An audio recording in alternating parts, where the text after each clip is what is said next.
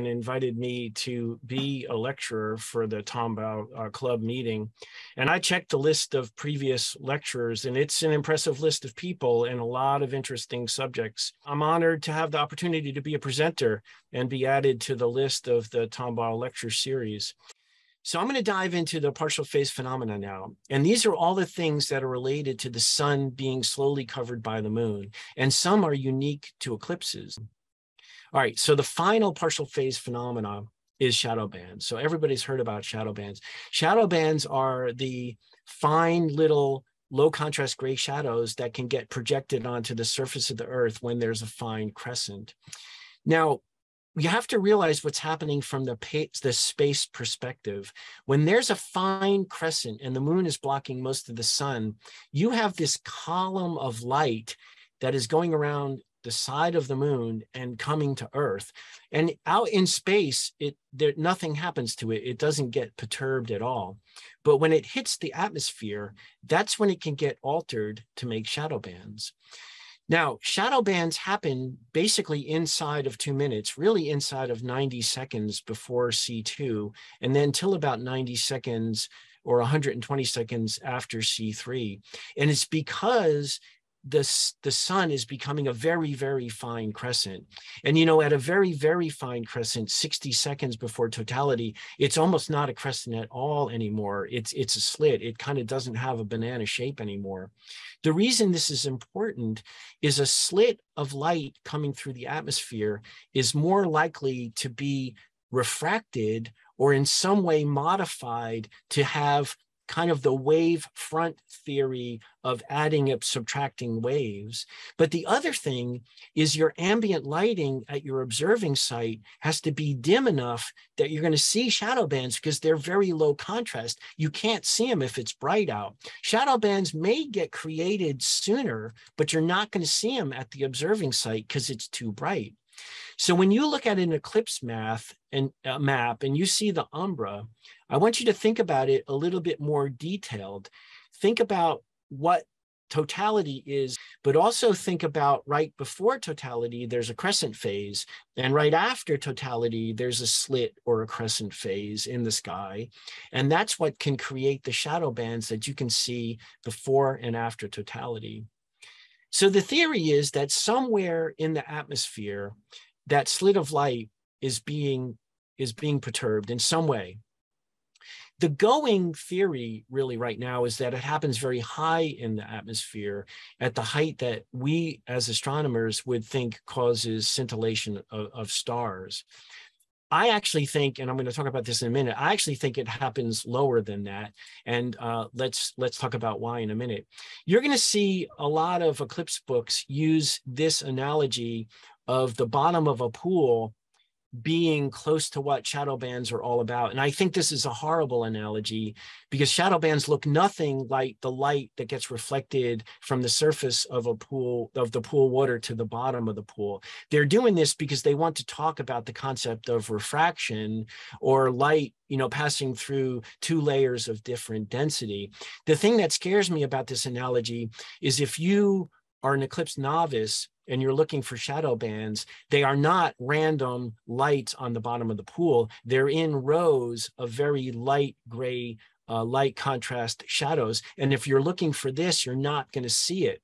And I, I recognized this in 2019. In 2019, I had a white sheet out. We were seeing wonderful shadow bands before C2.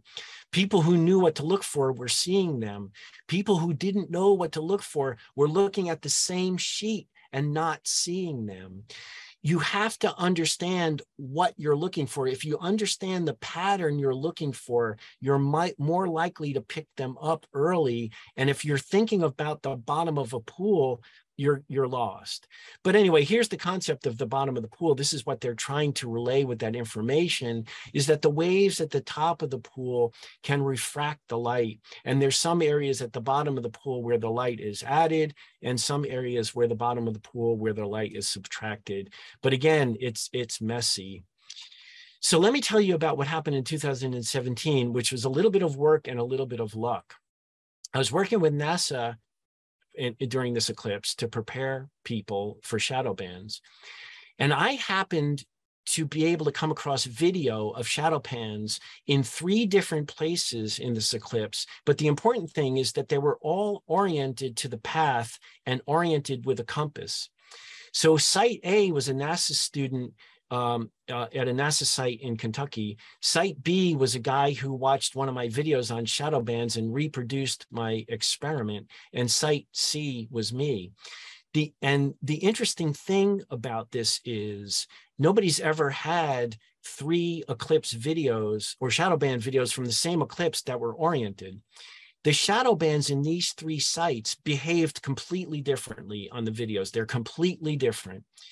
In site A, the NASA students video, the shadow bands were in rows like they usually are, and they marched in the direction of path exit. These are simulated, obviously, on the sheet. They marched in the direction of path exit, and the little shadows kind of leapfrogged each other, which they sometimes can do, in the direction of north. At site B, what was interesting that happened is at second contact, the shadows were perpendicular to the path and they moved in rows towards path exit. But after totality, the shadow bands shifted about 30 degrees. So the angle on the sheet shifted about 30 degrees. They still moved in rows towards path exit or umbra exit, but they shifted in angle.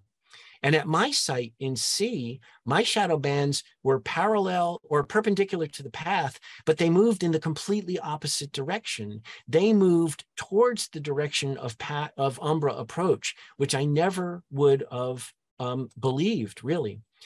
So I that's why I think shadow bands are created at a level denser than the levels of the atmosphere that uh, create scintillation because they can actually move and angle the the slit of light to a large degree.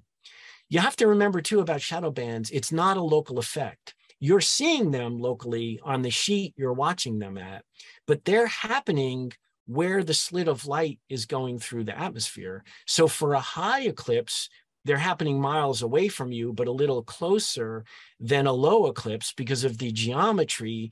Those shadow bands are going to be happening in atmosphere that's many miles away from you.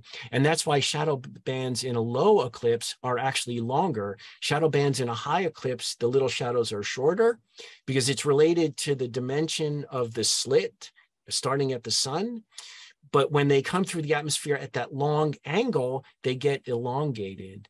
So to get more information about shadow bands, you'd have to do this complex kind of experiment where you had video at a site and you had a side a SkyDAR um, unit downrange somewhere. You'd have to figure out how far downrange based on the altitude of the eclipse.